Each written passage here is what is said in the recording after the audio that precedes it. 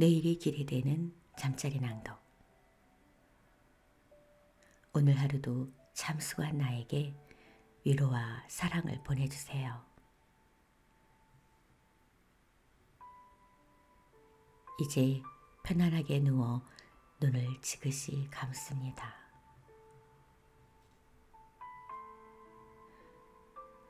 얼마 전에 다녀가신 외삼촌께서 우리 집 마늘을 보고 말씀하셨다.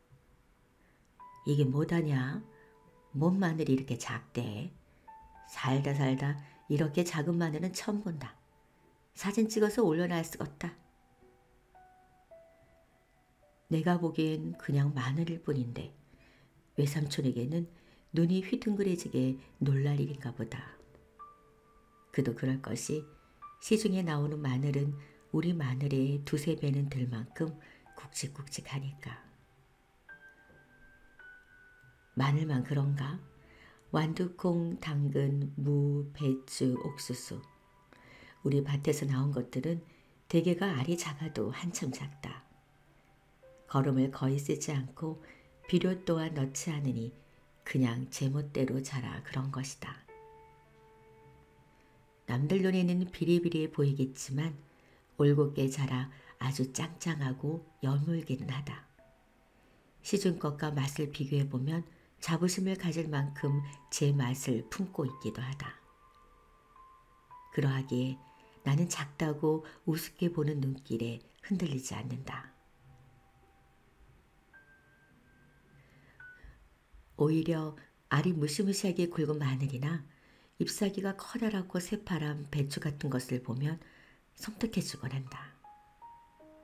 엄마야, 저기에 도대체 무슨 짓을 한 거야 싶어서 말이다.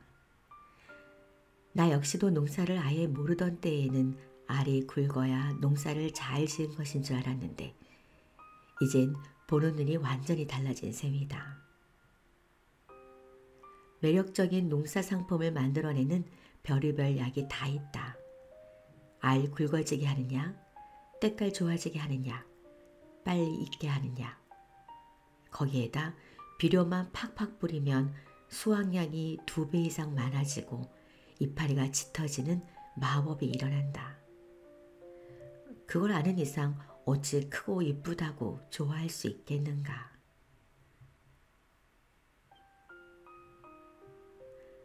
보는 눈만 달라진 게 아니라 대하는 태도 또한 많이 달라졌다.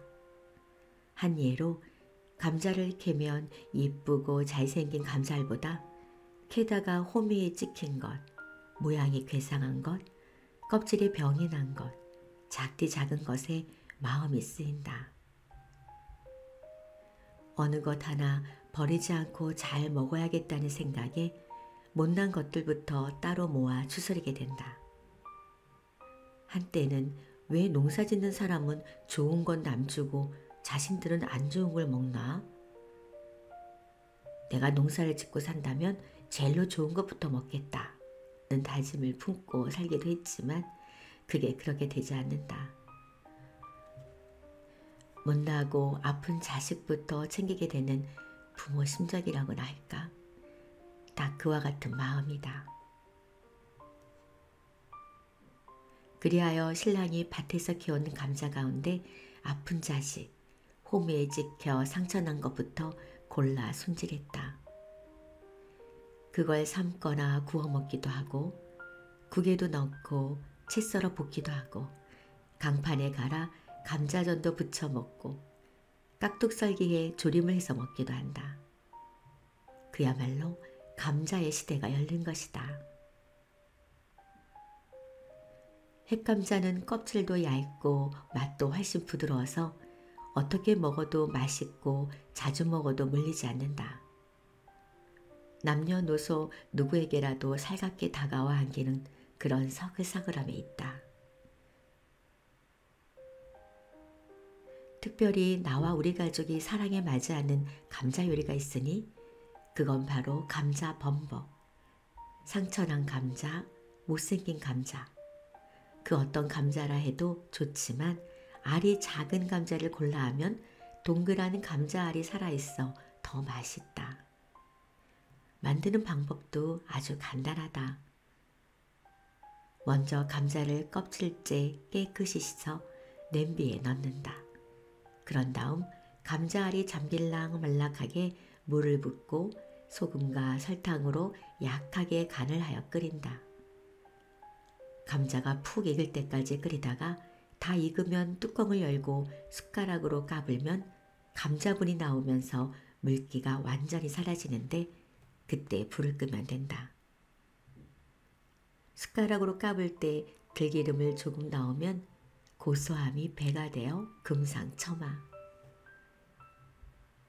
내가 감자 범벅을 하고 있으면 아이들은 냄새를 맡고 달려들어 호들갑을 떨고는 한다. 엄마, 감자 범벅 다 됐어? 다 됐긴 한데 아직 뜨거워. 식으면 먹자. 괜찮아. 뜨거울 때 호호 불어 먹어야 더 맛있단 말이야. 아이들 성화에 할 수 없이 뜨거운 채로 접시에 내어 놓으면 호호 불어먹는 모습이 얼마나 이쁜지. 알감자처럼 작고 실한 내 새끼들이 먹고 살겠다고 집중하는 모습에 저절로 웃음이 번진다. 또한 자식 입에 들어가는 음식이 내 입에 들어가는 것 마냥 배불러 하고 있는 나를 보며 알감자의 엄마인 씨감자를 떠올린다. 새끼 감자들에게 자기 몸을 밥으로 다 내어주고 녹아버린 씨감자 말이다. 감자를 캘 때마다 물캉물캉 온몸이 녹아있거나 이미 껍질만 남기고 사라져버린 씨감자를 보면 울컥해지곤 한다. 왜? 내 엄마 같고 엄마로 살고 있는 나 같아서. 씨감자가 남 같지 않아서 알감자 범벅을 먹으며 소리 없이 말을 건네본다. 씨감자야, 이제 난 내 마음 안다. 새끼를 먹여 살리느라 얼마나 고생이 많았니. 그래도 괜찮지? 내 한 몸에서 다른 생명들이 몽글몽글 피어나는 기적을 살았잖니. 잘난 자식은 잘나서 못난 자식은 못나서 그렇게 하나같이 귀한 생명을 말이야. 고맙다. 네 덕에 우리가 산다. 나 또한 기꺼이 네가 될래. 내 몸, 내 마음 아낌없이 다 내어줄래. 그것이 바로 내가 그리고 우리가 살아가는 이유니까.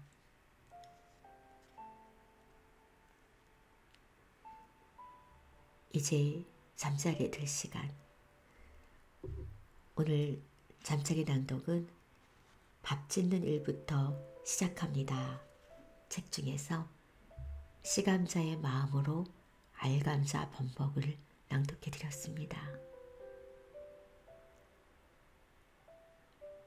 시감자의 마음으로 살고 계신 우리님들 그 따뜻한 마음을 응원합니다.